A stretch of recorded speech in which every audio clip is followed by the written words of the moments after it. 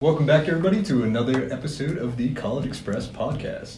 We're a little bit delayed this time because we had the Carnegie Plague going around. so now we can actually talk to you and you can understand us as opposed to just gargling and the the dead- So uh, I am Tyler, and I'm always with Kara here. Our newest employee, who's going to be joining us on the podcast, is Mackenzie.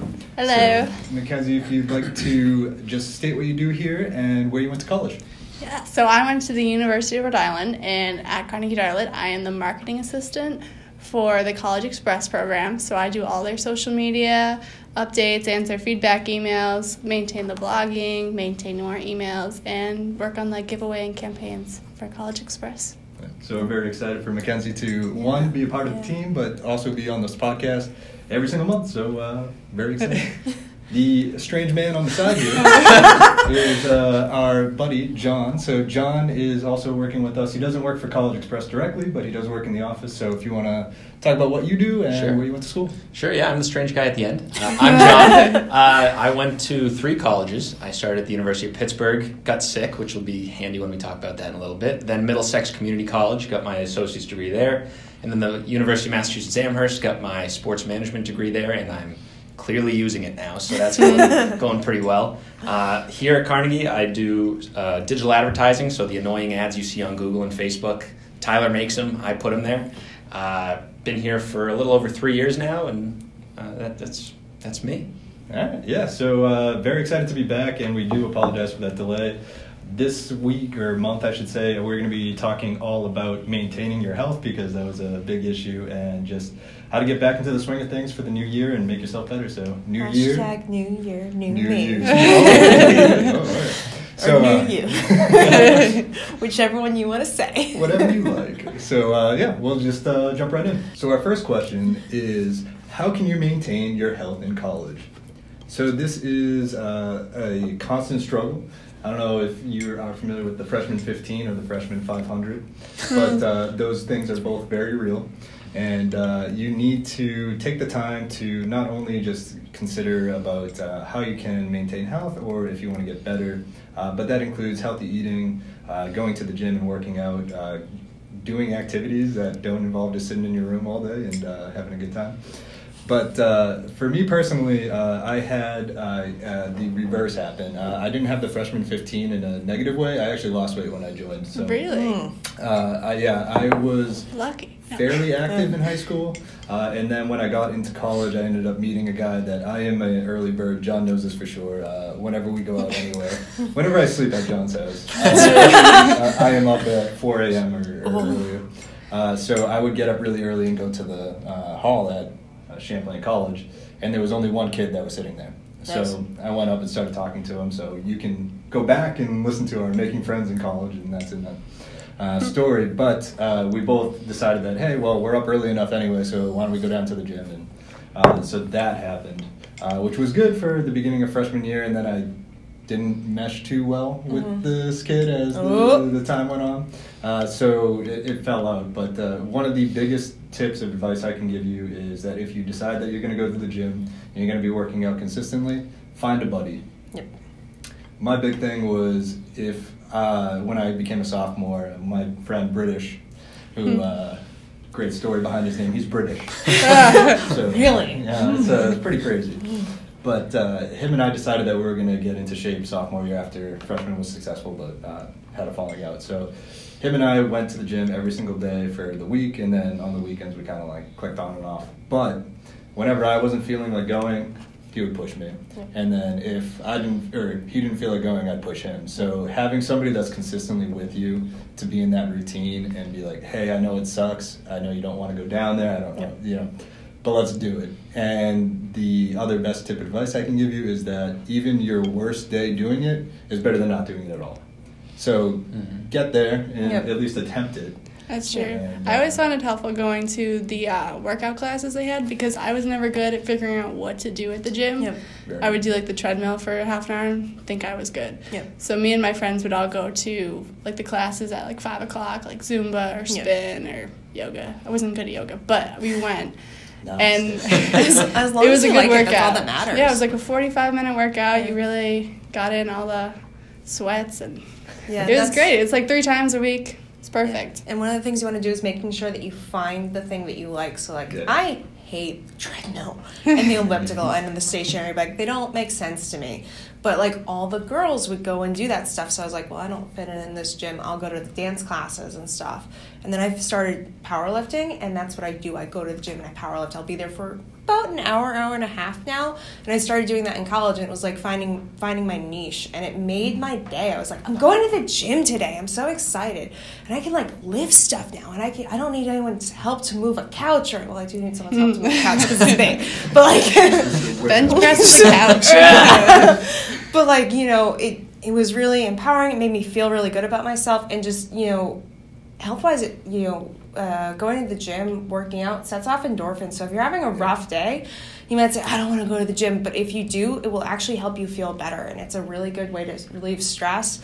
Um, and just kind of help your like your body stay in motion your body wants to move it wants to do stuff and like stay within your limitations if you're like I, or stay within what makes you happy so like if you don't want to lift stuff and move a couch by yourself don't do that but like go to a yoga class and even if you're like not good at it or you don't think you're good at it like just do it Try it out. yeah, try it out.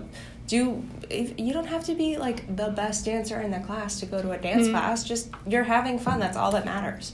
Well, it's even uh, you brought up the classes, but intramurals too. Yep. Uh, Oh, yeah. Depending on if you you know do flag football or uh, I was a big ultimate frisbee guy, so uh, getting down on the field and just throwing frisbee around uh, was a lot of fun. So there's there's a slew of different opportunities for you Yeah. to just kind of get out there and find something that clicks. And it's so easy coming up with excuses too. Yep. That's where the advantage of having a friend go with you is because I know I, I don't know how big Champlain's gym was or URI's gym, Small. but UMass Amherst had a pretty big gym, a couple basketball courts, but Mm. so many students there, over twenty thousand, that every machine is almost always taken. Yep. So there were so many times I'd go there, go through the effort, get changed, get to the gym, and say to myself, "It's too crowded," Yeah. and just turn right back home and go have ice cream or something. Yeah, So- and I mean also work on like off hours too. I would go between classes sometimes, Yeah. and I would, Yeah. I would go to class sneaky, but I'm like whatever. I'm not sitting there anyone Um, sure. And they they have they have showers at the gym too, um, so the, and they're like right there. If it's like you have a weird break between classes, like every once in a while you have like a three hour break between Yeah. classes, and you're like, well, I don't want to go back to my dorm because then like by the time I get there, I, there's no time for a nap or to watch a full Netflix episode. Like go to the gym, work out for 20 minutes, half an hour, take a quick shower, or don't go to class. Like or grab a bite to eat on your way to class and something like that. Like do like it's super easy. Um, also, healthy eating is super important. It can be difficult on a college campus, but there are also so many options and so many of them. At one point, at one point, I was with my friends and I had like just started my workout kick, and I was like, guys, you know what? I feel like I'm gonna have dessert tonight. And I went over, and there were no good desserts out. The like cookies weren't out. The brownies looked dry. There was nothing but fruit, and I'm like, I don't want fruit right now. So turn around, they had broccoli. They freshly steamed broccoli. now I'm we're cooking. broccoli. so I go and grab a bowl and I sit down. They're like, "Are you having broccoli for dessert?" And I'm like, "Hell yes!" I sit there eating my broccoli. So do that every once in a while. I mean, or don't like make yourself happy, but you know, broccoli's delicious, guys. I like broccoli. Did you put anything on the broccoli or was it Salt just and pepper. plain? Oh, That was a dessert. yeah.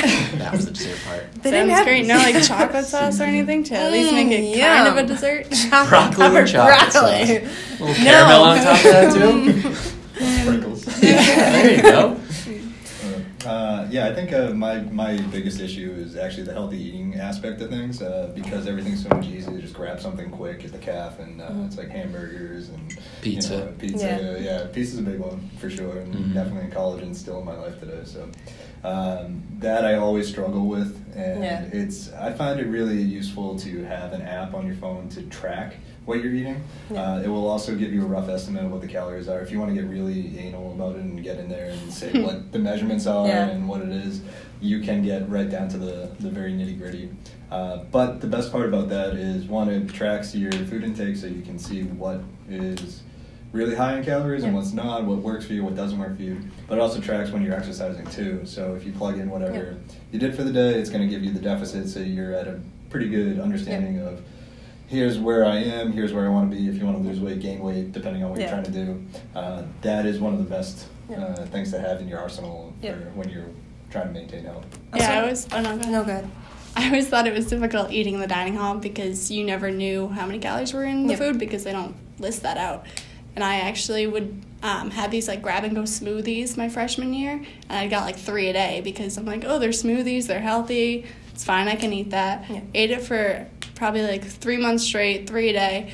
And I was gaining weight, and I was like, all I'm eating is these smoothies. What is happening? I found out there's actually no fruit in the smoothies. Yep. It just comes from a carton, and there's like, it's all sugar. Yeah. And so like you can smoothie. definitely ask them, yeah. Yeah. You can definitely ask like the workers uh, what's in the food. They can tell you what It's the typically ingredients available are. online too. Yeah, it's Mhm. online. And I think Sodexo, if you have like the Fitbit app that has like the barcode scanner for food, Sodexo, at least at Champlain, would put out like barcode scanner things. And I think on MyFitnessPal too, Sodexo partners with them so that you can see, like you can scan it, you can say, oh, this is how many calories, this is how many, um, how much fat, how many carbohydrates, how many, how much Oh, protein is in there. I think, yeah. Um, and they, they would list it out too, but that that information does have to be available to you, even if it's available online or you have to ask them for it. Um, but it can be made available to you. Um, and I just wanted to make sure it's clear that we're not saying like this is what you have to do to lose weight. Like if you want to just like maintain your weight, if you want to gain weight, just like leading a healthy life is important. We're not saying that anyone has to like lose weight or become a perfect fit or anything like that.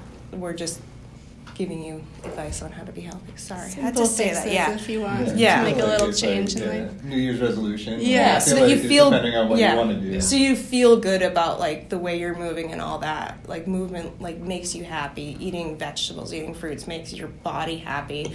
And um, like if every once in a while I have a piece of cake and I'm like Not mentally I mean like not mentally happy. Physically, I guess. Physically, yeah. I mean like I've been eating cake and chocolate and everything for the last week and I'm like, I just I want a vegetable.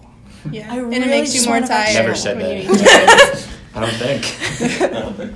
Uh, uh, one thing I also want to bring up too is you said going on off hours to the gym if you're trying to get in. Uh, also, I worked at Champlain at the gym desk. If Mhm. you are unfamiliar with any of the equipment or you need somebody to talk to you before you go in, there's usually somebody posted there that you can talk to and ask about the equipment. If you feel uncomfortable about any of that, go early in the morning, talk to somebody, or late at night.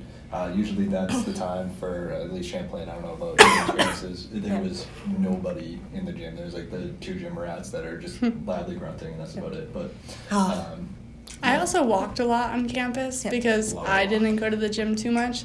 So uh, my campus was on a hill. The dorms were at the bottom, and all the classes were at the top. So I would just walk to class Never instead of take the class. bus. Yeah. or I'd like uh, kind of explore campus. I ended up finding like a secret garden on the side of my Oh, campus. So it's kind of That's yeah. fun. Yeah, Secrets go out. Talking there. helps. Yeah. Sorry. Sorry, you're right. Um, we should also probably talk about like not being sick health. Yeah. Because that's obviously a problem even to adulthood. um, you got to take care of yourself if you're sick. Like if that means missing one class, like do it and sleep through it, but email your professor. Like let them know be like I woke up and I'm coughing really loudly, my throat's really sore, I don't know what's going on. I haven't had my flu shot, so it could be the flu. Um, or I did have my flu shot, so it's probably not the flu. Probably but is the flu. it probably still is Because the they flu. inject you with the flu virus. That's not. no, there are sometimes different one thing to take strains of flu. Like last year, everyone got the flu shot, and then they, like everyone still got the flu because it was a different strain that went around, and everyone was still sick, but not as bad. Um, so like. Keep in open contact with your professor. Go to health services and be like, "Hey, I'm really sick. What's the issue? Is it strep throat? Is it the flu? Is it mono?" Which all go around campus like wildfire, especially among freshmen. Gonna see a lot of kids in the health Oh, clinic yeah. when you go in. Yeah. Yep. Um, so like that's really important. Wash your hands, and that'll help you get rid of bacteria so that you don't get sick. And don't Keep your touch dorm room clean. Keep What's your dorm the- room Clorox clean. wipes. Yeah, you talked about like skipping a class if you're feeling sick. Uh, if there's a big party and you're not feeling so well, probably hang out at that party because if you go down there and Yep. you partake in substances, uh, You'll- that might not help your. Or even staying up till two in the morning. Yeah. Sure. Get your rest. Yeah. Yeah. But talking about mono, I that's why I left Pitt after my first semester. I got mono uh, right during midterms, so I didn't necessarily miss a class. I missed Everything. the tests. Yeah. So I, I had to leave. It was a wasted semester. Um, and I actually lost 32 pounds in two weeks. Yeah. So 32 pounds in two weeks. there's your diet. Wow. Yeah. yeah. It's Wow. There's just no way to eat, but Yeah. you got to take care of yourself. You know, that, it was one of those things where I, I personally don't like needles that much. Yeah. Uh, but of course, the don't know if only They have to take so much They blood. have to blood. I had them do it out of the top of my hand. I felt better that Oh. way. Really? I didn't know you could do Everyone that. says that's sweet. I didn't know either. I just Oh. thought I'd ask. Did it hurt? Yeah. but the thing is, you got to go get checked. My Yeah. parents came and visited me. I was so sick. We were, you know, not able to even leave the room because I Yep. just was always sleeping. Yep. But you got to go to the doctors. Got to get it checked. They took the blood. It hurt. Yep. Um, and at that point, I withdrew from Pitt, got my health back together, Mm-hmm. and then went to community college, which isn't the worst transition there. You know, just take care of yourself. Yeah. Yeah, definitely. especially with something like I got mono the second week of my second semester freshman year. And they're like, "Yep, everyone gets it." I read like an article that said by the time people are 24, almost every adult has had mono, just in ranging manners. So like I had mono and strep, and I was like, I missed class for like a week or two. It's horrible. Some people don't even notice that they get it. Some people get it like John and lose a bunch of weight in two weeks, and are just Yeah. can't do anything. And the other thing too, I, sorry to interrupt, but I, I think half the problem is they, it's obviously known as the kissing disease, Yeah. but that's only a chunk of it. Yeah. Water fountains, doors, kissing. The gym. The gym. Make the sure you wipe down your equipment before and after you use it because that's it goes through um, bodily flu- fluids and people in the gym are sweating. So if you use a piece of equipment that someone hasn't wiped down, then you could get mono Stop from that. making out with that treadmill. That's right. Exactly. Ugh. Ah. but yeah, so it's there. It, it's so common, and especially where like you're in a new environment, and not, not just like huge diseases like mono, but even like the first two weeks, everyone gets sick. Not just mm-hmm. freshmen, not just sophomores.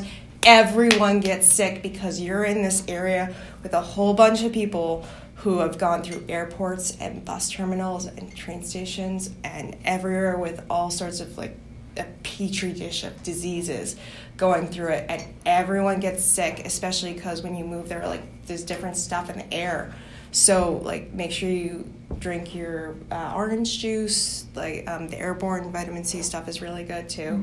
Like just being preventative and trying to make sure you know drink tea. Tea is always good. Um, and just you know a lot of it's just trying to maintain trying to prevent getting it um, and stuff like that. So like wiping everything down with Clorox wipes. I'm not saying be a germaphobe but little Just be bit doesn't clean. help it doesn't Yeah. hurt And some of it's unavoidable. Yeah. You're, Gonna, you're gonna get sick. You I will can tell get you that. sick in Over the course of college. four years, you'll at least get sick four times, once Yeah. per year. and that's where you have to go to health services. You might be looking at an hour or two wait, but it's better to get that hour or two wait Yeah. out of the way quick. It, well, I guess not quick, but get it out of the way. and then from there, just start getting healthy. You know, Yep. rest, eat, skip class if you have to, send an email to the professor. Half the time, the professor will just write back, sure, no problem. Half Yeah. the time, they won't believe you and want a doctor's note. Yeah. My Yeah. sister So- had that happen to her. Um, just get the doctor's note. Yeah, Go to the doctor. That's why it's especially helpful to go to health services, Yeah. especially if you're like I had to miss class a couple times because I was in health services and there was a long wait, and I was like, I'm gonna be late or I might not make it. I'm in health services right now, and the professor is very understanding. If you, especially if you ask them for like, what are we gonna cover in class, and they'll explain that in the syllabus, but you can be Mhm. like, I see we're studying X. Can you send me the PowerPoint or can you send me notes from your lecture or something like that? And having friends in the class being like, hey, I'm missing class for because I'm sick. Can you send me notes? Can you share them with me on Google Drive or whatever? Um, just there are there are so many ways, especially with technology, that you can miss class and not miss out on the information that you're getting, which is super important in college. And if the professor is not very nice about that, I always find like going to their office hours Mm-hmm. Yep. when you feel better, um, they Switching appreciate classes. that a lot. Switching classes. That- Switching classes, yeah. if it's Getting not too professor. late, try switching. Dropping out of college. yeah, if it's the second week, just be like, no, I'm done with you. We're No, going no. on to a new one. That's a good point, though. Yeah, definitely. If you have any issues, not even if you're just sick, but if you're having issues in the class and you're not, you're struggling and Yep. having whatever reason, go and see them, and they'll take into account that that ex- Yeah, extra yeah, they take notice. Yeah, Yeah. But wait till you're not sick. yeah. There's- don't go when you're sick. There's one thing that professors know. hate more than anything that's getting sick. If they're being rude That's to you, though, meant, go when you're yeah. sick and just like come in with a handkerchief. I'm so sorry I couldn't make it to class. I really couldn't get out of bed. Can I take a nap right That's here? where I the theater class move." comes in handy. Exactly. Yeah. It'll take at least one acting class to Mhm. make that work. That's right. Our next question is How did you cope with the stress of when you were applying and when you were in college? And how did your work ethic change from high school senior to college freshman to college senior? So let's tackle the first part um, first. Uh, coping with stress during uh, college applications. Um, I didn't cope too well. I was very um, upset with everyone at all times. Lots of mood swings. But if I were to go back and do it again, I would say the easiest way is to just break it down into parts. And I even did that, but it was just like I ended up piling most of the parts to the end because I'm a procrastinator.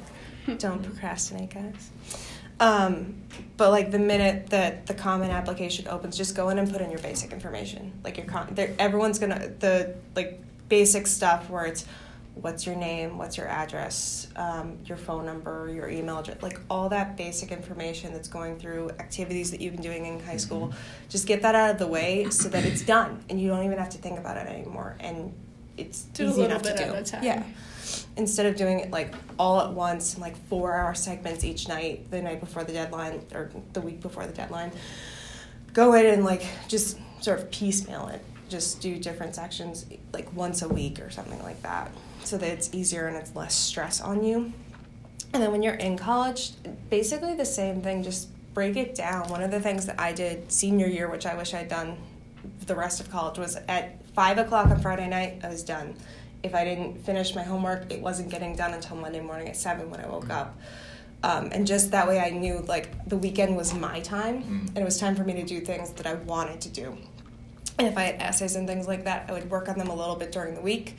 Um, I worked in the math lab and for foundations of mathematics, so no one ever came to me for help. So while I was there, I would just do I don't my think I was ever at the math lab. Exactly, no one came. there was a lab. Yeah, I don't know. There that was we had like a math tutoring lab, Wow, and I yeah. they, I did really I'm well surprised in you weren't at the foundations. Reading one. Yeah, the writing center didn't want me. It's fine. Wow. The math lab did. Champlain. it's fine. No grudges spared. I'm editing now, so whatever. Your loss. That's right. so um, it is right. Right. In. Whoa. so I would write while I was supposed to be doing math and whatever. So like if you like have one of those jobs like Tyler That's why mentioned no one came to the math lab. She was Exactly. writing. yeah, I was writing. Every once in a while they come in and be like, calculus? Can you help me with calculus? She's And I'm like- like, no. I have a question about derivatives. Go to this website and she ask made her them. own writing center. Pretty much.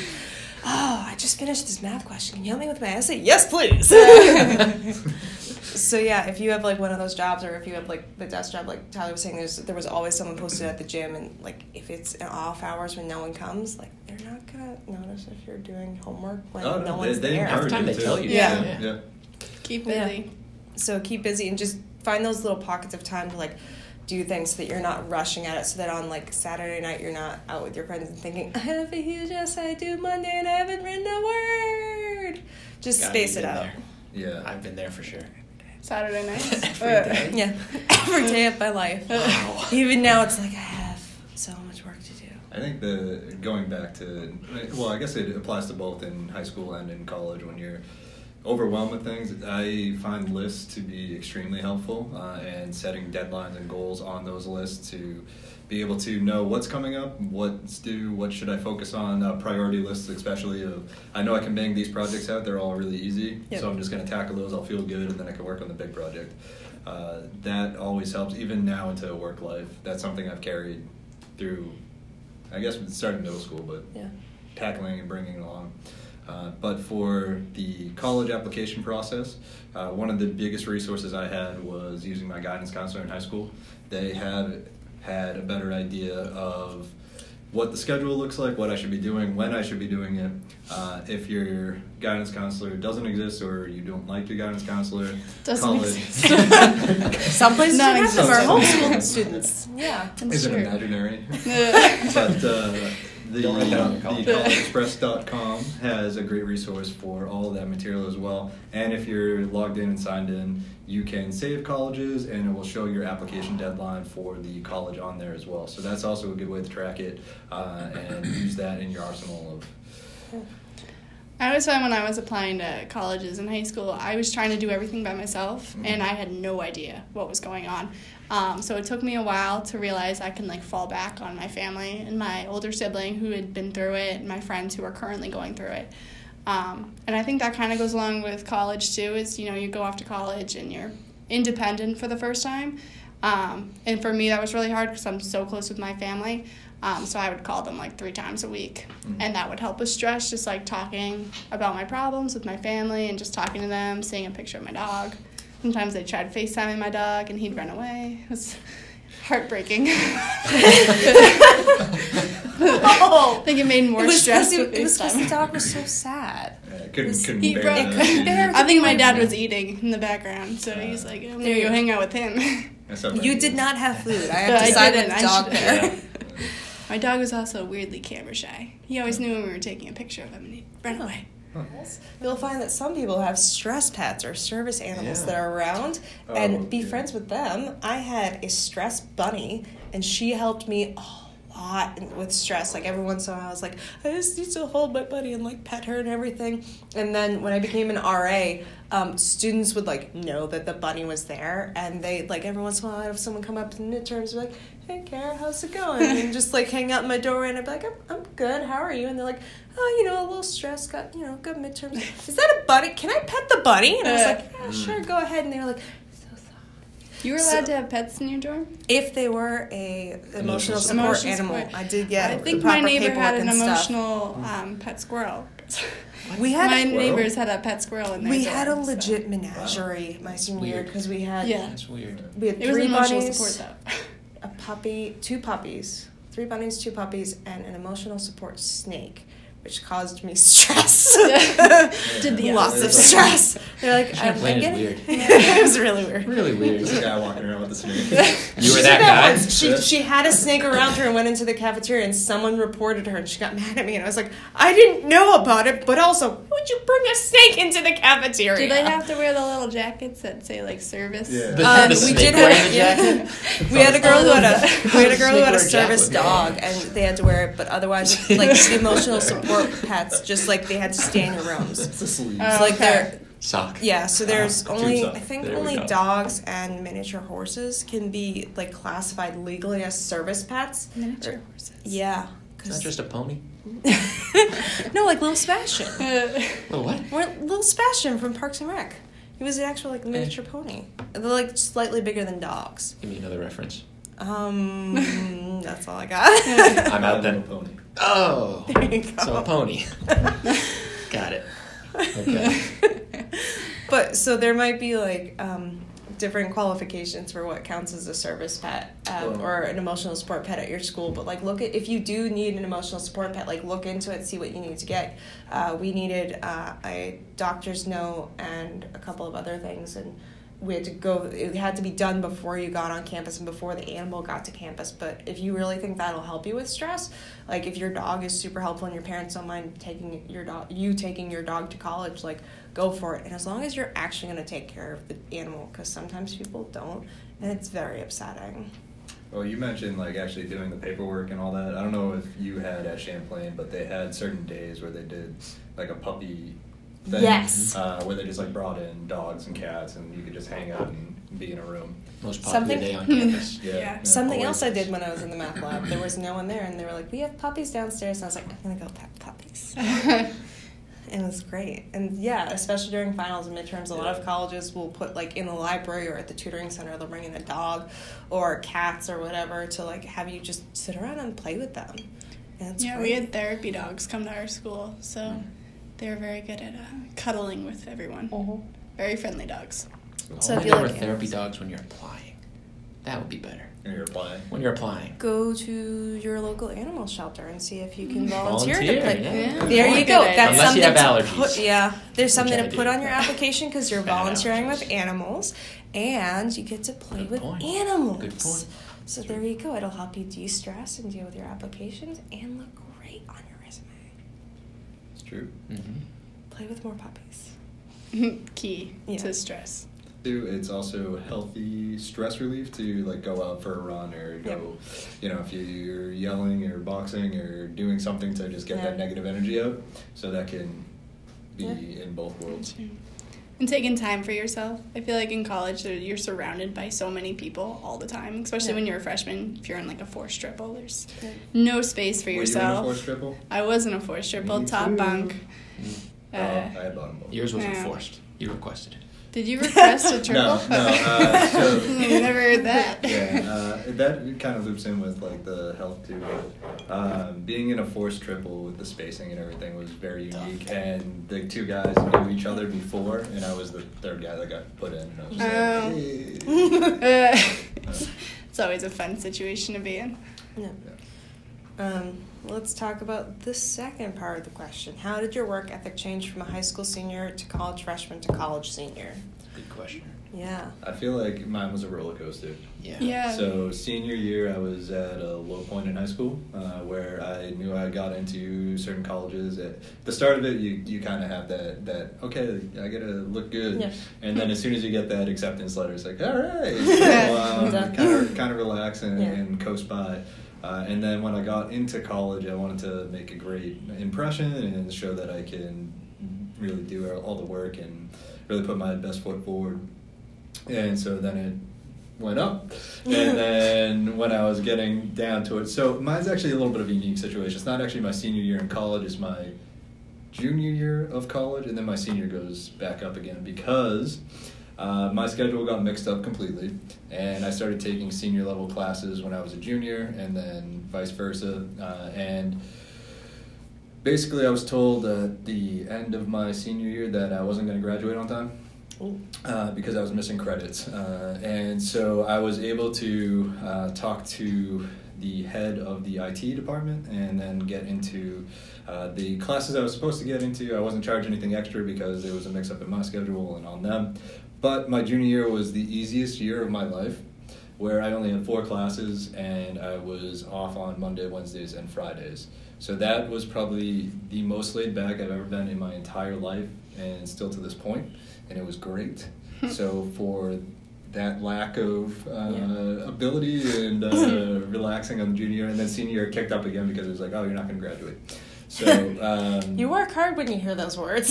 yeah, and looping back to the procrastination bit too is uh, procrastination is usually a bad thing, but if you can use it and you know you're a procrastinator, uh, sometimes you're going to be working better under stress. Yeah, it's True. And you can definitely see that in the roller coaster of uh, my my Yeah. life anyway. But- I always, uh, well, high senior year of high school, I think I tried really hard at the end because they kept on scaring us that if we didn't keep up our grades, the school would take away the offer. Mm. Um, so I was always really nervous about keeping up my grades. So senior year, I, I was, I did pretty well. Freshman year, um, I kind of went down a little bit. I tried hard, but I was also, you know, we you're taking gen ed classes, it's not really interesting to you. Um, so I think I wasn't interested in the classes, so I went down a little bit. I picked up junior year because I went abroad to London. So um, I took a lot of interesting marketing classes in London. And so I went back up, tried really hard over there. And then senior year, I dipped down again because senioritis, when you're graduating and you know you've got all the credits in line and it's still a little scary at the end because there's it's like if one thing goes wrong they're like you're not going to graduate or you Yeah. can walk but you won't get the diploma so it is important to keep everything in line and make sure you have all the paperwork in because there's a lot that goes into graduating Yeah. when you're in college Yeah, for me, similar to Tyler. Uh, well, let me preface this by saying my dad has a saying where college is way more fun when you have good grades. And I'll get to that in a second. But so in high school, I was, you know, normal 3.0 student, nothing too fancy. Never, never took a an honors class. Never really wanted or needed to, or I guess qualified for it. Uh, but I continued that, and then my freshman year of college at Pitt, uh, I was the only kid from my school to go there. It was really cool, big into sports, great sports school there, and I'd always heard at my public school called Westford Academy for some reason. Uh, they would always say we're a college preparatory school, so I always had that mentality that well, college is probably going to be very similar to what I'm doing in high school right now. So I thought, well, this is how I do it in high school. This is how I'll do it in college too.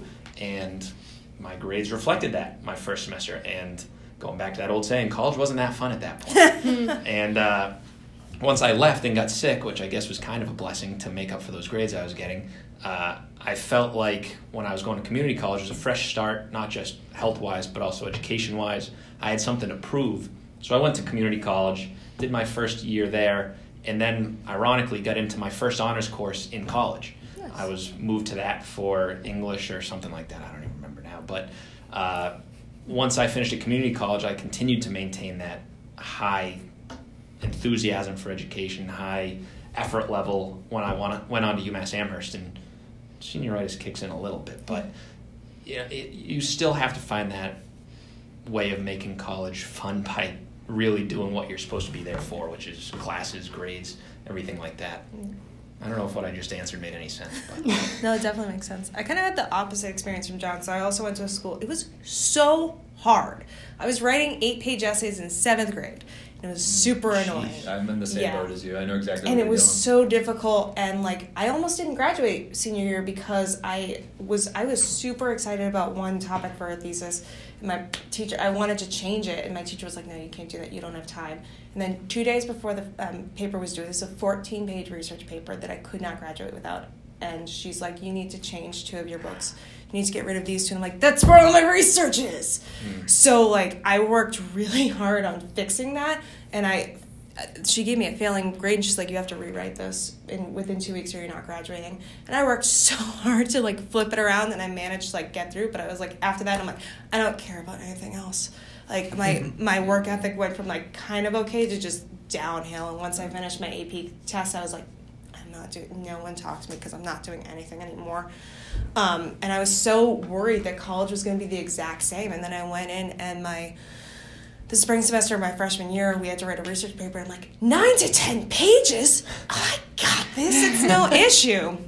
So I found that college was actually easier for me um, because I, there was just so much work poured onto me in high school. And it was um, like, I found my, I wanted to do well in the classes. My work ethic went so much higher. I read the books for each of my classes. Like, even my core classes, I was like, I'm going to read I had the such an issue textbook. summer reading. I don't Yeah. know if you had that issue, but uh, summer reading was. no, it wasn't It much was of an the issue. It just best wasn't when we did. Yeah. Oh, it That was, was the, the issue. best in college when we didn't have to do summer reading. I was like, "Are you kidding me? No more." I got to read books I wanted to read. Yeah. Um, and I mean, one of the great things about Champlain was that we have they have what's called an upside down curriculum. So we, I was taking gen ed courses, but I was also taking writing courses. I was taking courses that I wanted to take. Um, so I was like, this is really interesting. This stuff is pertinent to me, and I loved being in college. I loved doing the work that I was doing. I loved writing the essays and doing the homework. Um, so it went way up for freshman year, and then senior it kind of stayed the same because I had a lot of friends in my classes. So like after class, I was taking a web development class. So like after class, I- we would go down to my friend's apartment and we would sit around, have lunch, and we would just do our homework together, and it was done. So that we were all ready for next week. And I'm like, great, all set. And I was taking a photography class, and I was always late to my second class because I was like, I'm gonna play around with stuff in the dark in the uh, the dark room, and then I was like, oh no, I'm late. but you know, it's especially I think during senior year, you're taking um, more of the classes that you want to take. If you have like extra gen ed credits, it's gen eds that you want to take. It's things that interest you, like web development or um, photography, um, and things like that. Or if it's if you're at a school that doesn't start your major right away, it it's a time when you're taking courses that you really want to learn stuff about.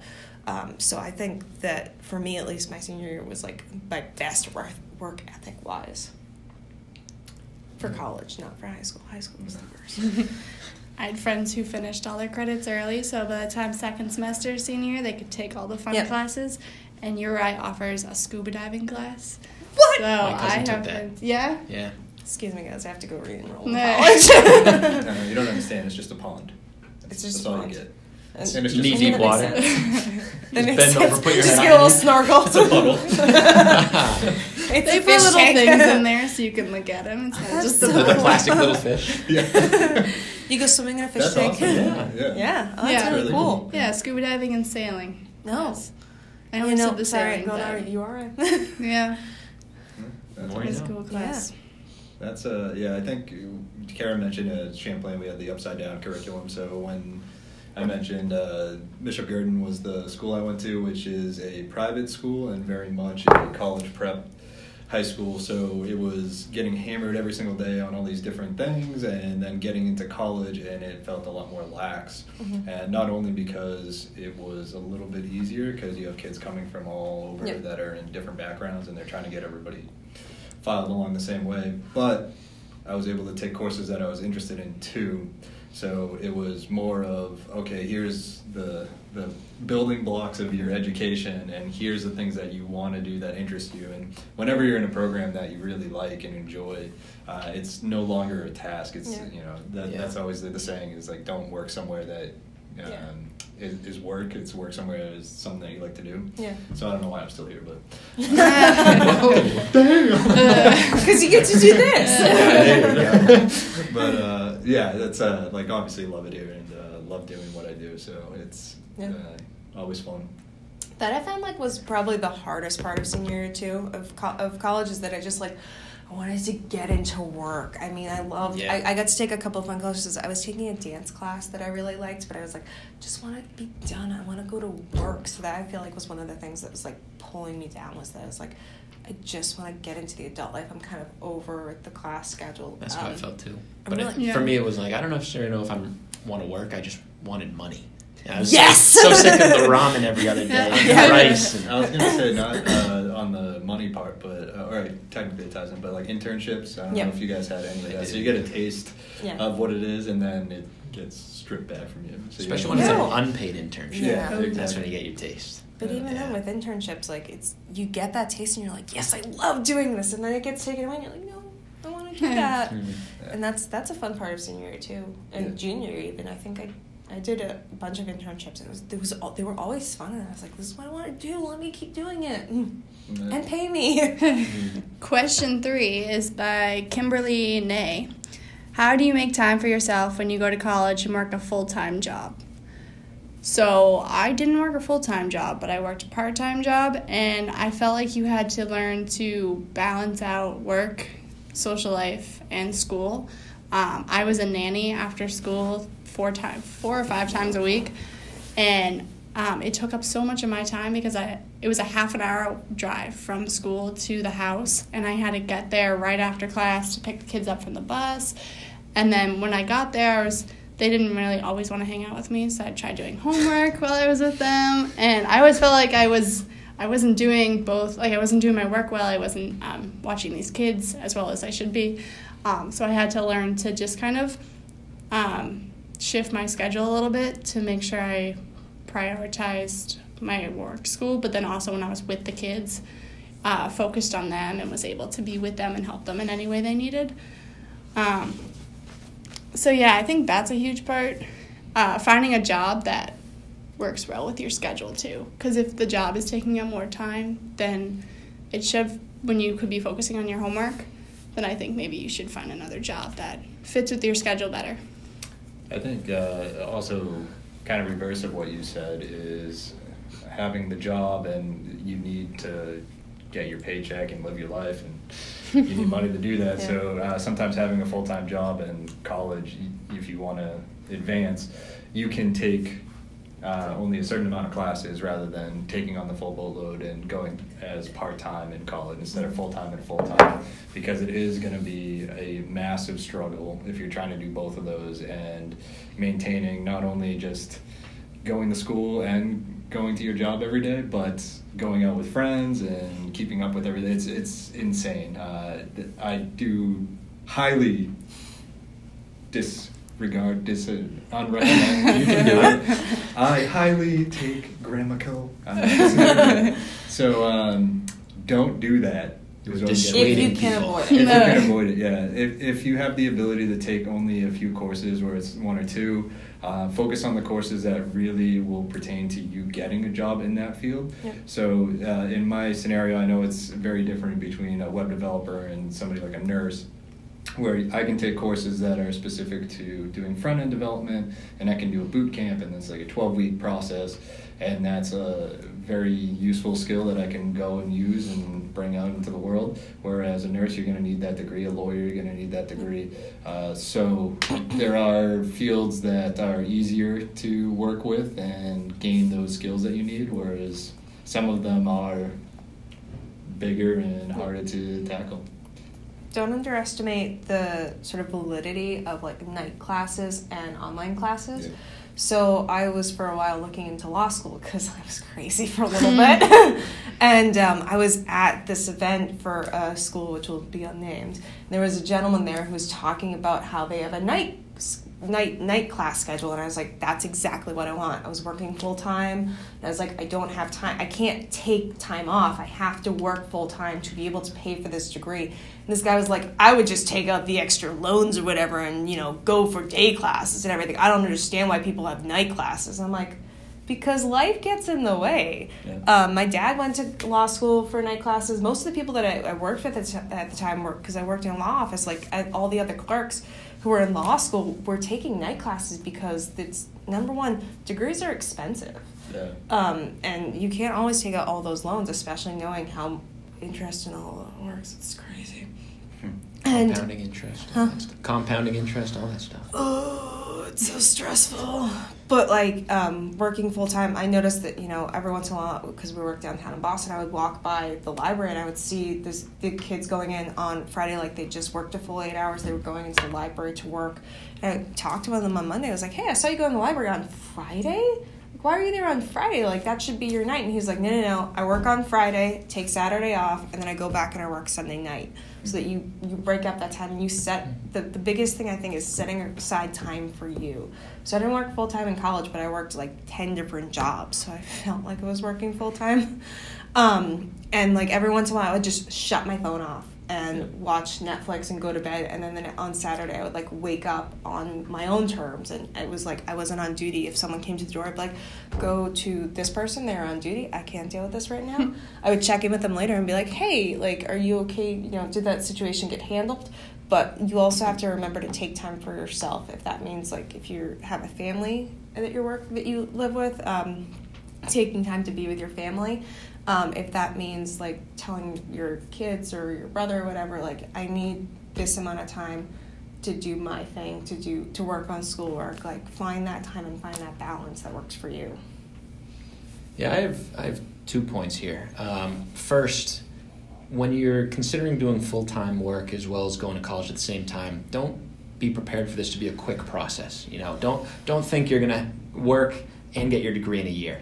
Uh, perfect example. My grandfather, after he had my dad and was married, living in Chelmsford, he was a chemist and decided to go to Northeastern to get his bachelor's degree, and he did night classes for twelve years every semester he took a class and after 12 years he finished summa cum laude he would kick my dad and my grandmother out of the house every night he needed to study but it's a long long process so don't go into this thinking this is going to be quick and easy it's something you got to be committed to it's Good for expensive him. yeah he uh, he doesn't like to talk about it much but he's just a humble the guy dark days. Well, that, that goes back to what I was saying too about only taking a few classes and don't go like Right. hard into both. don't burn yourself out quick Yeah. Yeah. Um, the other thing as well, in my current position as a digital advertising specialist, I write and I see a lot of ads for a lot of these schools that specifically target people who are working adults, Mhm. Um, MBA programs, nursing programs, engineering, etc. So, if you already have the full time job and you want to stick with that full time job, maybe don't necessarily look at switching jobs, but look at switching schools. Because I, I don't know about your case, Kimberly, but it almost sounds like here you're working and you don't know what school to go to yet. You just want to know how to balance it. Do your research and look for the schools that are specifically targeting or who have programs specific for students that are working. Because you won't be the only student in that classroom or the only person in that, at that school working full time. It would be a collection of you guys. The curriculum would be going around that. Um, yeah, just do your research for sure. Yeah, uh, Emily is actually in graduate school right Yeah. now, and she's a full time nurse. So her schedule has been hectic and very stressful for not just her, but the both of us, and trying to figure out when we have time. And uh, looping back to having schedules, it's very useful and helpful to jot down what time things are going to happen and where we're going to be, and what time is study time, what time is uh, like a dinner out, uh, Yeah. like the other night we went out. Uh, when are things going to happen? And then that way, nothing's like it's crunch time and I gotta Yeah. get this done and freaking out and house is on fire and dog ran over the fence and every, everything. Or into the Yeah. fence. that has happened. I know. Um, so yeah, I, I, scheduling is definitely important, and uh, I, I feel that don't try to do both Yeah. full. I can't reiterate that enough. I, I think you're gonna burn out way too quickly and be very stressed. If you need to take a semester off, do it. Yeah. People do it all the time. A semester, a year. Just make sure you go back. Don't Yeah. Yeah. don't go halfway and then just be done with it because you have nothing to show at the end. You've put the money, you've put the effort in. Finish what you started. That's uh, looping back to that too. Emily took a semester off for when we got married because we had so much going on. Bought a house, And, all that uh, stuff. yeah. Yeah. Uh, so if if you have certain life events that are popping up and you know it, it's Yeah. no problem to just take the semester, pump the brakes, Life and happens. then pick it up and Yeah. finish. Figure it out what's important for your health and yourself. and don't try to be in it alone. So, I mean, if you're you have if you're living with a partner, if you're living with your family, um, if you live near your parents and you have kids, like talk to them and see what what they can do to help ease this burden for you. You know, talk to your your partner about like what you guys can do. You know, going out even just going out for dinner once every month or so can just be a little thing that you know helps you get along. Get takes your mind off everything for like 10 minutes for 20 minutes and make sure you shut your mind off from work and school for that um, because you do like you you can burn yourself out that way and you don't want to do that because if you like what you're doing full time and you like the classes that you're taking like you want to do well and you you can't do that if you're if it's always on your mind and you don't take time for yourself so like you're asking how to make time for yourself dinner go to a movie just take a nap sometimes. That can be enough. Um, read a book that you want to read and things like that that has nothing to do with your classes or work. Just shut everything off for a little bit even if it's 20 minutes and just take time away from it so that you can take care of you. Yeah, well, you said reaching out to family and friends, but it's also very nice to have your alone time where Mhm. Emily and I are very much in that same boat of when I'm stressed at work and I just need like a day or, you know, four hours to just Yeah. be, hey, can we just live separately but in the same house? Yeah. That- don't talk to me yeah, it's a it's a huge mental relief, and you have that ability to kind of recoup everything and get ready for the next day. yeah Yep. and go out like be be alone for a little bit if that if that's what you need. Um, I'm not an introvert. I'm an extrovert through and through. But every once in a while, I'm like, I just need to go and do something alone. I went to the movies alone last Friday, and it was great. What did you see? Uh, I saw the Mary Poppins one, and it was I just great. saw that It one. was See? good. Yeah, it was really good, and It was I a was there. Yeah. and- It was Dick Van. Dyke was Yeah. in it, so that was cool. yeah, that was really cool. Was it really? Yeah. Yeah. 93 years old, dance on Yeah. the desk. Wow. Yeah. So let's review that movie. Going into CX reviews. Yeah. But even though like it was just something I could do, and you know I had a little bit of stress at work because we've had deadlines going on, and I was like, this is nice. And just it was just me and no one there being like, I need to make comments in your ear about this movie, and I got to enjoy it. It was great. So do Yeah. something that you're gonna enjoy. I'm an introvert, so I love my alone time. My little cubicle over there. no one talks to me. It's great.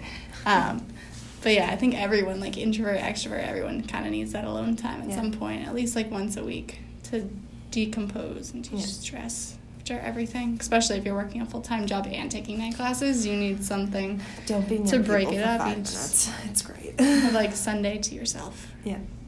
Uh, so, fourth question here What mental health resources are available in college?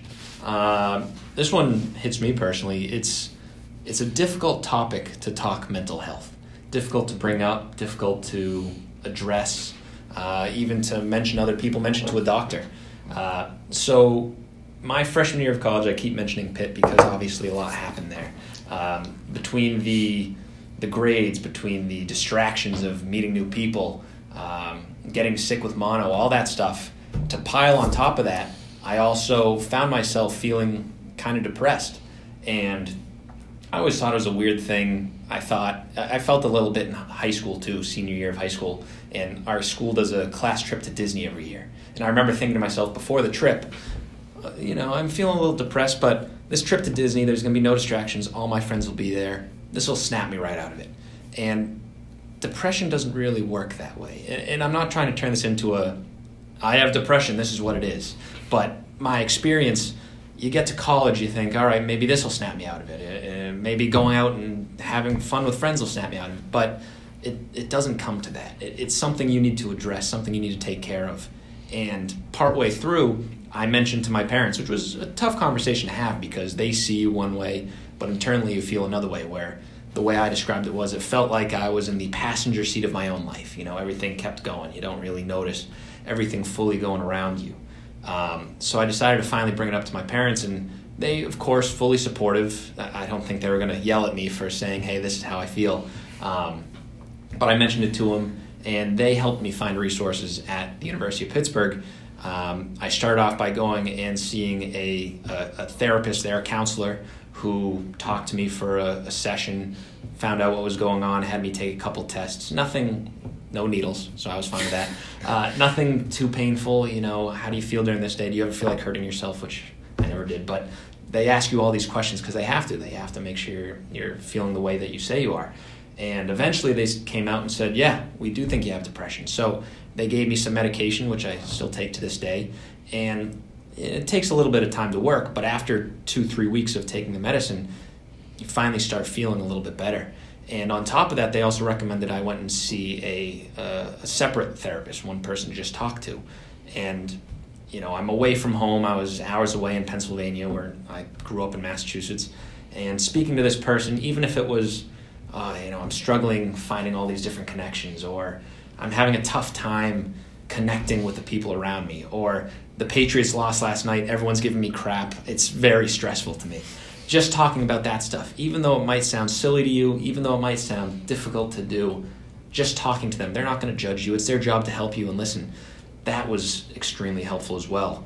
And to this day, I still see a person not as often as I would at school. I would go every week because those resources were available. Most of the time, they're free. You just set up an appointment uh, if you have a referral. But making sure that you take advantage of those resources, as hard as it is to do, um, that's the most important recommendation you can have. Even if it means exercising to help you snap out of it, or going and seeking help like I did, or telling someone. Mm-hmm. Telling is a big thing as well, and as as we all know, you know, people sometimes in college more often than it should succumb to the depression, so succumb to the stress, um, which is obviously a horrible thing because you see all the time people say, just ask how someone's doing.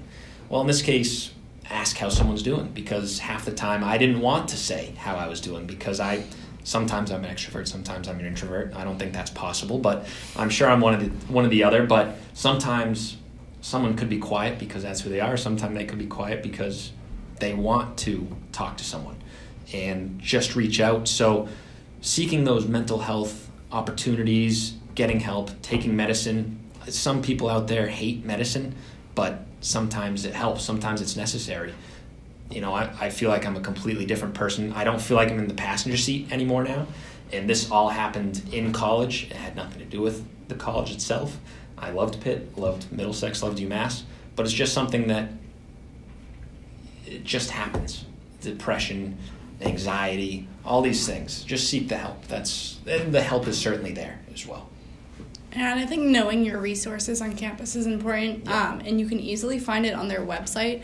Uh, just if you look up the health clinic, uh, they have a bunch of online things. I um, actually looked up URIs, and they have a assessment, uh, anonymous assessment test you can take um, to kind of not diagnose yourself, but just see like where you're at. Um, and it's a professional that gives you your feedback to you, but it's kind of a way to do it where you don't have to go into a clinic and talk to a person one on one because that can be intimidating sometimes, but also important. Um, so maybe you know you take the test, you figure out if you know you're at a place where maybe you want to go talk to a professional, and it kind of helps you that way. It's also um, good to know what's available in case there's something tragic that happens, like the loss of a loved one. Mm-hmm. Um, my freshman year of college was the Newtown shooting, and there was a student who lived with me in the same dorm, and he was from the area, and he just I saw him at the first the day that it happened, and he just looked so upset, and I think. I don't personally know if he went to the counseling, but that was available to him. And they made sure it was known. And I was there for the Boston Marathon bombing. And I was so upset with that because I know so many people who go down to the finish line. I know a lot of first responders in Boston. And I was I had already booked an appointment with the counseling, and I went in there, and they're like, "What do you want to talk about?" I'm like, "I can't talk about anything right now because I I don't know how to process this." And if there's a situation like that, like it's good to seek out the counseling in your area. Sometimes people, um, if there's a tragedy, like if every once in a while, unfortunately, if a student passed away, that happened my first week of college, they'll bring in extra counselors to be available to students, or they'll tell you what a good helpline to call is a local, um, an anonymous helpline that you can call and talk to. Um, and all of that information is readily available. And if it's not, if you don't know where to find it, you can seek out your, one of your professors. You can seek out um, someone in any department of the school, um, at, of any staff member, an RA, um, if you have a peer advisor, one of them, or even just going to sort of the building you think the counseling office might be in and be like, hey, where do I find help? It's readily available, and they want in college they want you to reach that help and a lot of times it is like mackenzie said free so take advantage of that while it is free and while it's available for you so you can start to learn those coping mechanisms and so that if you need to take advantage of them you know how to find them and you know where to find them and even after college you know it can help you figure out like okay this is what I need. I need counseling, or I need medication, or I need to find this per this type of person, this type of help, and it will help you orient yourself with what you need, um, and it's all readily available. Yeah, I think uh, we've all kind of touched on depression as a, a giant topic, but mental health is a vast array of different types of disabilities. So, I mean, even um, health, uh, like eating disabilities. Uh, my friend, uh, for example, in college, had a very addictive personality. So when we met him, he was very much into video games, and it would be times where like, hey, we need to go out. Let's go out on night on the town type deal. And he was like, no, I have a raid. Like I need to, I need to be here in this seat. Um, I get it. There's people on the other end that are relying on you, but at the same time, as you mentioned, passenger, uh, Mhm. he's he's missing all these opportunities that are happening right here, right around him. Uh, and he had a very unique situation happen where we kind of had an intervention type deal, sat down with him. So he he decided that he was gonna um, start working away from that, but then he got into a unhealthy addiction to running, Mhm. um, and then it became an unhealthy addiction into dancing. Uh, so he his personality just kind of grips onto things Yeah. and works through it. But now he's um, he's working in uh, industry where it's. Kind of funny, but uh, it's a slot machine. Uh, slot machine. but while he's there, he's seeking uh, the you know help Yeah. to this day, and he's gotten a, a, a lot better since the uh, ten years that I've known him now, twelve years. Uh, so I mean. th- The one thing we keep bringing up too is that the resources are available, and that's not only true for college. I know the question was specific to college, but in high school you can go out and you can reach out to a counselor. John mentioned talking to somebody, anybody, or having if you're just sitting around, you notice somebody, just they, they Yeah. they're off, and you you can sense that. Go up and talk to them. It's it's a huge deal when somebody comes over and just expresses that they're concerned about you, and you have that that talk with them, and it could could potentially save somebody's life. It's uh, absolutely unreal. Yeah.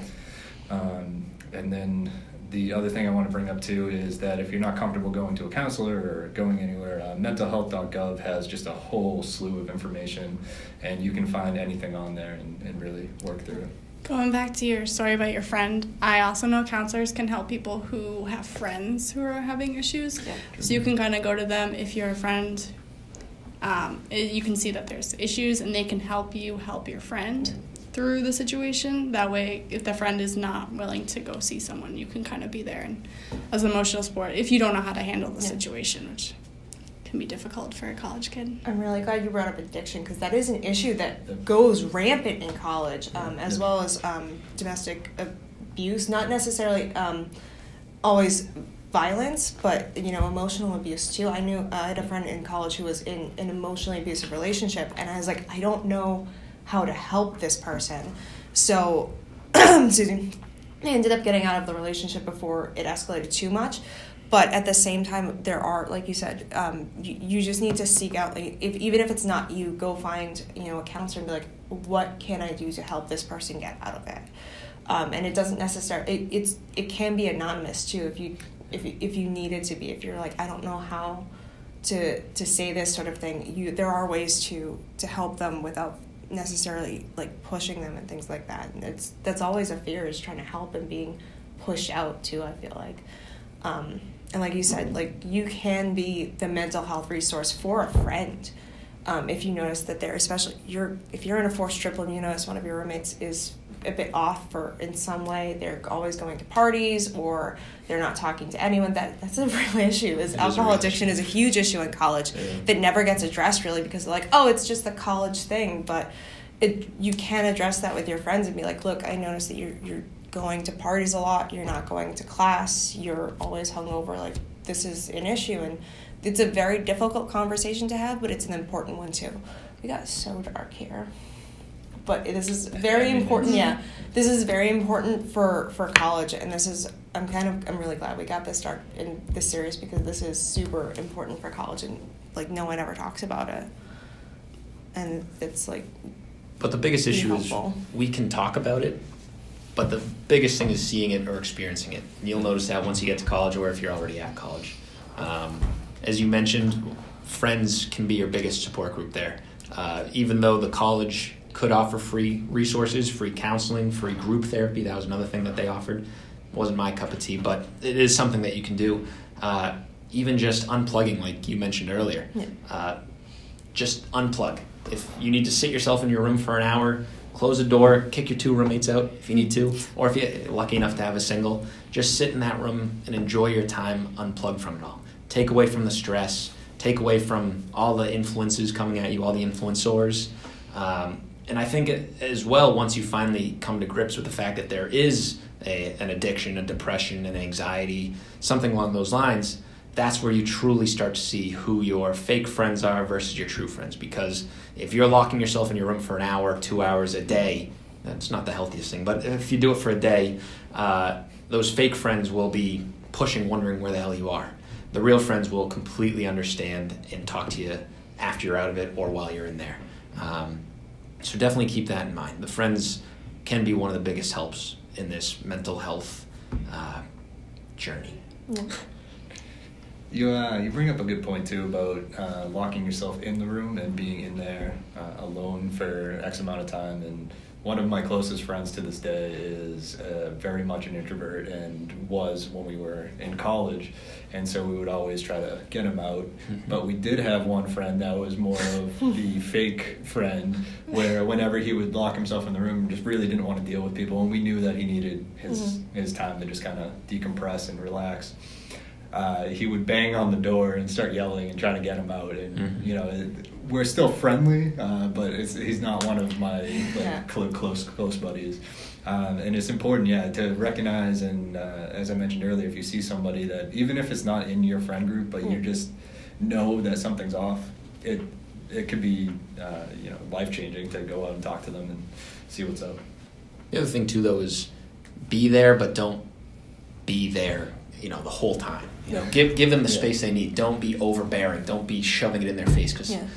Just like if you're drinking and someone says you're drunk, that's the most annoying thing in the world to hear. Yep. If you're feeling down and someone says you're down, I can tell. That's not that helpful either. Just be there. You know, Yeah. let them come to you or offer. Yep. Offer is just as big as anything. Yeah. Instead of saying specifically like you're down, we need to do this, be like you seem really upset. What do you need from me? What can I do for you? Um, rather than that, and you mentioned friends, and that's that's a really Mhm. important part. And I noticed sort of as I, especially in junior year, I sort of switched friend groups because I noticed that the friends around me weren't listening to what I needed. So it was a situation where they were drinking on campus. I said, I'm an RA now. I don't really feel comfortable doing this. I don't want to do this. I don't want to be involved in this. I might get called into work. And they're like, no, no, no, do it, do it, do it. And then I got called into work and I was like, well, it's a good thing I didn't. And then like they kept pushing. And then the newer friend group that I got into, I was like, I don't feel comfortable with this. I'm like, okay, we'll, we won't push you to do that. They did their own thing too. Um, but at the same time, they weren't pushing me and they, they you need to make sure that your friends listen to you and what you need and if they're not listening to you and what you say you need it is something that's going to be good for you so if you're saying like if you've been locked in your room for a week um, and you're not sick That's or not what I anything, was talking yeah no no i know no but no but Don't like do that. no, but if you've been locked in your room for a week saying I I need space, I need space and you don't Mm. need space, you need to be around people and they're like um, no, this is what you're doing is unhealthy. You're gonna come and you're gonna talk to us about what's wrong. I, if that's you know what's been happening, I hadn't seen my friends in like a month, and they're like, you're gonna come hang out with us for one night, and I needed that. Yeah. And I, I was like, no, you know, I'm fine, I'm fine, but I, I wasn't fine, and I needed that. So if your friends listen to you in different ways and like have that connection, like look for that in your friends. Um, instead of like you said like them telling you like this is what's wrong with you this is what you need Mm-hmm. having them like listen to you and listen to you in different ways too um, so that you know just finding that connection can be the biggest mental health resource is just surrounding yourself with people who are going to support you and who are going to help you um, like who are going to lift you instead of pushing you One other thing just randomly popped in my head because I know right now, for example, my grandmother's going through chemotherapy treatment, which is a side note, but my dad and myself as well really needed some emotional support groups as well. And some people aren't this way, some people are, but going and finding a church, finding religion on campus. Some campuses are super religious, you know, Jesuit colleges or something. I, I don't know, my, the ones I went to weren't like that, but um, you know, every college has a chapel or a temple or a church on there. And sometimes just going on a Sunday, sometimes going to confession, sometimes just praying every day. That also helps with your mental health. And don't be ashamed to do it if you're the only one who's praying in your friend group because it's it's about your mental health. Just take care of what you need to do. Going back to the friends for a second, when I uh, went abroad, I was going by myself. I didn't know anybody in the program going over at the when I first started going through the application process, and I was so sure I could do it by myself. I was like, I'm really confident, I'm really excited, and then the weeks before, um, I started to get a lot of anxiety about it because I was like. Yeah. Yeah. It's like I'm going to a foreign country I've never been to by myself. Um, and so I ended up finding out that my friend from school had also, uh, we weren't that close, but she was also applying to the program and she was going to be there. And we ended up living together while abroad. And she was like the best thing for me over there because I don't, I probably wouldn't have made it through the semester abroad without her. Um, uh, yeah, it was really hard to be that far away from family and in a place you've never been before, people you've no idea who they are. Um, so friends was the that was the greatest thing about going abroad. Yeah, even uh, just like if you're in college and you're feeling alone or whatever, that we live in the time where you can just pop on your phone, Yep. you can do Skype, you can do what um, FaceTime, whatever it is, and talk to somebody, um, somebody that you trust. I know that's one thing is especially when you're in a new place and you, you don't know people, it's kind of hard to let them in. But uh, reaching out to somebody that you know specifically and talking about your issues and problems and getting over it. So. Thank you, everybody, for watching the CollegeXpress podcast, all about being a new year and a new you. I want to give a special thank you for Mackenzie for joining us, and she's going to be here moving forward, and also John for coming on board and sharing his thoughts and insights. We'll with never see me again. We will never see John ever again. Uh, not even us we won't see him No. Starting right now. If you have any questions or concerns that you want to hear about in a future podcast episode, please reach out into the comments below and let us know. Uh, and we'll be releasing these again at the start of every single month. We'll have the first week where Monday, Tuesday, Wednesday, and Thursday, one question will be answered, and then Friday, the entire podcast will be released to you. So please let us know if you like that schedule, if you want anything to change, if you have any comments or feedback or anything along those lines reach out in the comments. Yep. And also remember to go to collegexpress.com for all your college and scholarship needs. And we look forward to tuning in next time with you guys. Thank you.